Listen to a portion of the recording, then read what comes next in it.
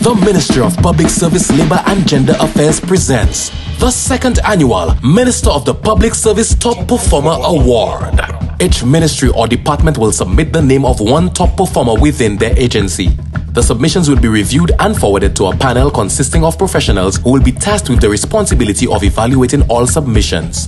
The top performer for 2023 was Mrs. Lyra Thomas Joseph, Chief Complaints Officer from the Ministry of Commerce, who will receive the Minister of the Public Service Top Performer Award in 2024. There will be an official ceremony on August 3rd, 2024, honoring all of the top performers from the agencies, and the top performer for 2024 will be revealed. The ceremony will culminate with the Minister with responsibility for the public service, Dr. Virginia Albert Poyotte, announcing and presenting the grand prize to the winner.